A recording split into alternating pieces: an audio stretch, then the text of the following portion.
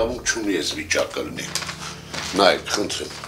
Սա ճակա, պատալոկները առանձնացած։ Հատակը ասում սախ մետլախները սախ ճակ չկա ձեն։ Ասում հիմնական ասենք պատերը ու չի բացառվում, որ ինքը փրկվելու է։ Միանշանակ փրկվելու է։ Արզումանյան փողոցի 10, 12 եւ Վարդաշեն 6-րդ փողոցի թիվ 68 շենքի բնակիչներն են։ Պատմում ու ցույց են տալիս, որ իրենց շենքերը սեյսմիկ տեսանկյունից խոցելի են։ Հիմնական պատերը, որը որ իրավունք չունի ճակելու, ճակելա այն կողմը առանձնացել էր սյունից, բռնել ենք ներսից պենոպլեքս են կպսրել, որ ասենք դուրսը չերևա, քամին ներս չմտնի, պատալոկներն էլ խնդրեմ, նայեք,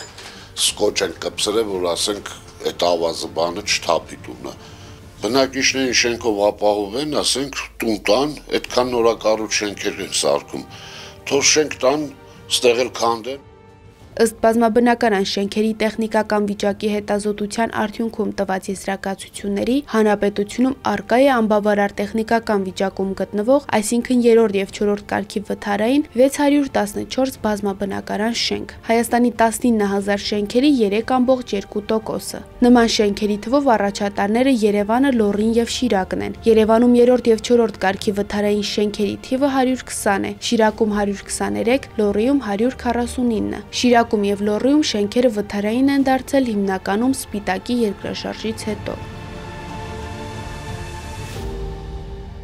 Ըստ քաղաքաշինության կոմիտեի բնակարանային ֆոնդի կառավարման եւ կոմունալ ենթակառուցվածքների վարչության պետ Տանի Արզումանյանի միջ օրս այս խնդիրը լուծվել է իրավիճակային ձևաչափով, այսինքն եթե շենքի վիճակը վատ թարացել է, պետությունը աջակցել է, սակայն գործող օրենսդրությամբ համայնքի եւ պետության վրա պարտավորություններ չկան դրված։ Հոգ տանել կամ բնակիչների նոր շենք տրամադրել։ Այդ պարտավորությունը սեփականատերերի վրա է պետությունը գիտակցում է, որ հնարավոր չի դա անել եւ միայն իրավիճակային լուծումներով խնդրին լուծում հնարավոր չի տալ։ Եվ 21 թվականին ընդունվեց մի հայեցակարգ, որով փորձ փորձ արվեց եւ այդ ճանապարհին ենք հիմա այս խնդիրը դնել ավելի համակարգային հենքի վրա, ավելի ծրագրային, որ շարունակական, կայուն, մշտապես ֆիքսված լինեն պետության եթե ոչ պարտավորություն, օրենքով չկա, ապա աջակցության ուղղությունները, ձևաչափը, մոտեցումը եւ 24 թվականից արդեն կմեկնարկեն ծրագրեր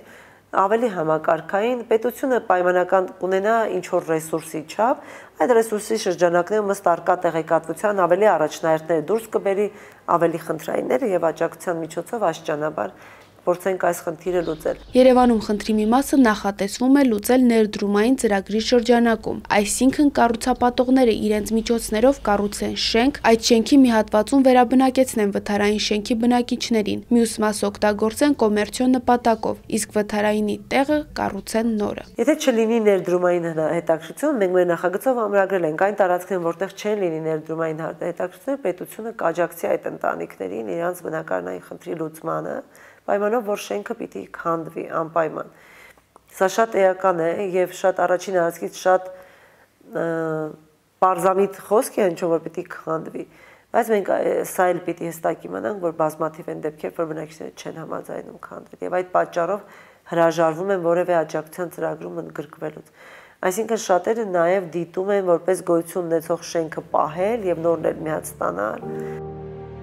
Երևանում 2024-ից շուտ կարող է մեկնարկել այս ծրագիրը։ Մինչ այդ վթարային շենքերի բնակիչները պետք է սպասեն եւ հավատան, որ երկրաշարժը այս ծրագրից շուտ չի գա։